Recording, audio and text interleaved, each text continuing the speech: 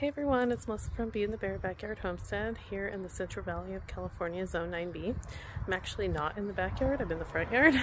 um, and I'm going to be doing um, a garden tour of the front yard. I haven't done one in a long time. So anyways, I'm also doing something experimental. You know me and experimental gardening to see how much I can grow in my, you know, 7,000, 7, almost 8,000 square foot you know, yard. so anyways, um, I got these grow bags. Um, I have some other ones. Let me see.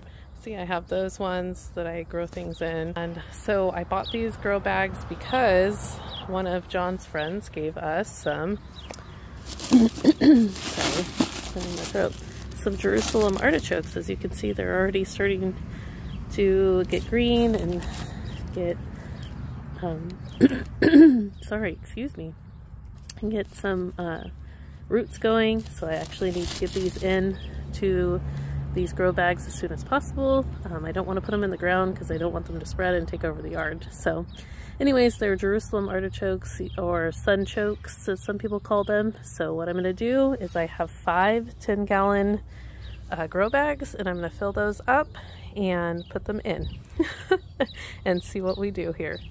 So I'm going to do that and then I'll come back and show you what I'm doing. So what I was reading was that you're supposed to put them about three to five inches down. So I'm going to go ahead and place these on top and then I'm going to um, cover them with about five more inches of three to five more inches of soil. So anyways, sorry, my throat is like super clogged.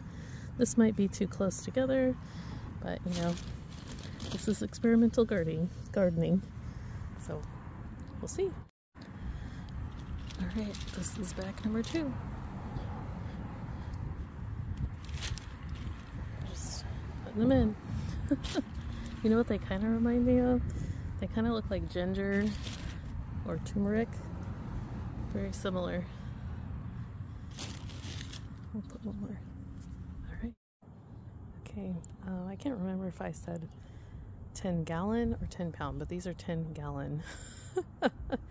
um, anyways, so they're all filled and I'll come back through and water them later because um, later on the kids and I are going to be planting some pumpkin seeds and I might make these rows longer since I have a lot of extra soil still left over. But we'll have to wait and see. So here's all my volunteer sunflowers.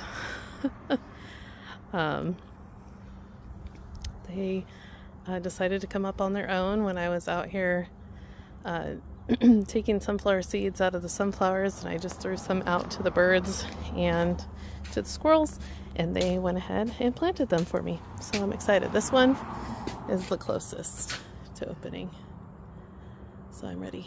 I'm excited. Over here, here's my succulents. Um, I definitely need to cut this one and pot it and try and grow some more succulents. I might have a plant sale, so we'll see. Here's my red roses. They're just beautiful. Here's um, some of my aloes. Here is the garlic chive. I've had this one for a couple years. Here is my onion chives. They're doing really good. I just planted those um, in the fall. Some more of my succulents.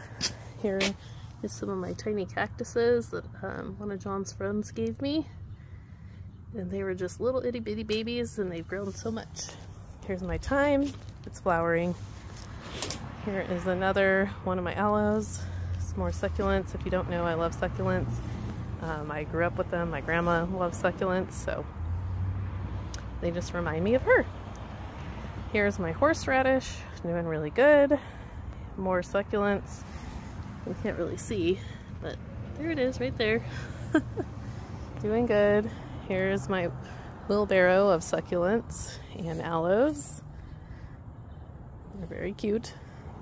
Here's my parsley. It's very weedy. And here's my cilantro turning into coriander seed. it's flowering and I think that my dill is going to be flowering here soon too. which is fine. Here is the holy basil and peppermint. Here's my oregano, doing really good.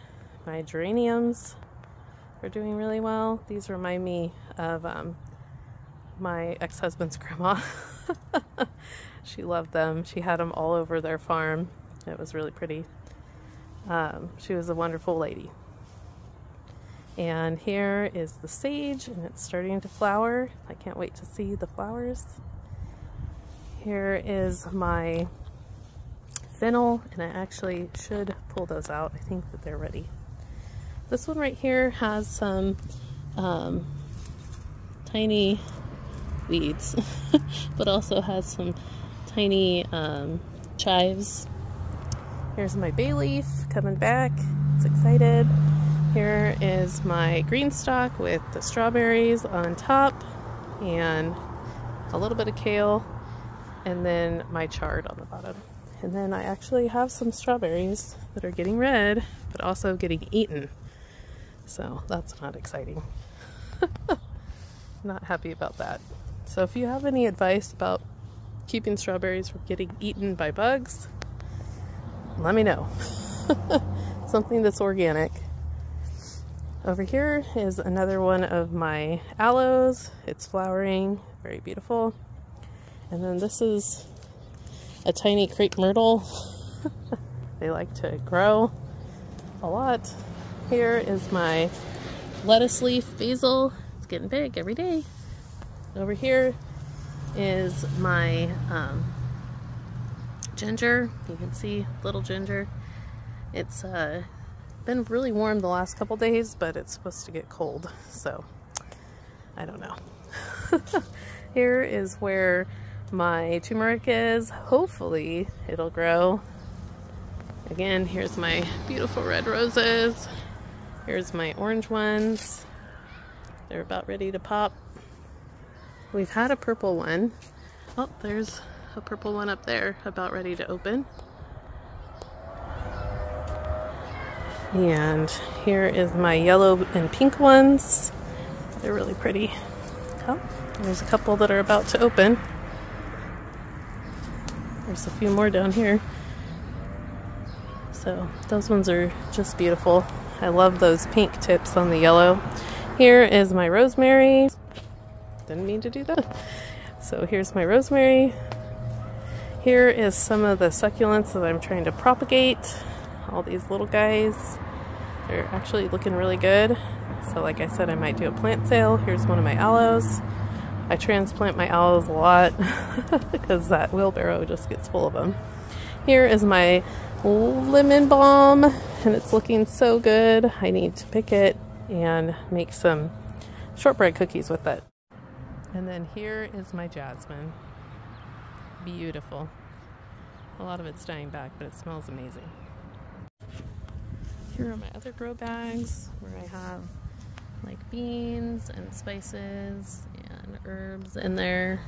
Um, like having some storage issues on my phone. Anyways, here's some more beans, some caraway, some snapdragon, some fenugreek, and some other things, St. John's wort, and more beans, and some uh, echinacea is in there.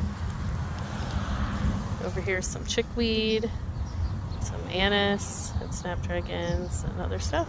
So yeah, so that's what's happening in the front yard. My hair is a hot mess today.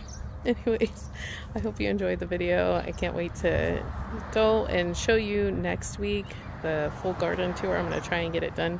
Seamus has a doctor's appointment next Friday in Roseville, so we have to drive three hours. But anyways, I'll try and get it done before Friday. So have a great weekend and I'll see you guys next time.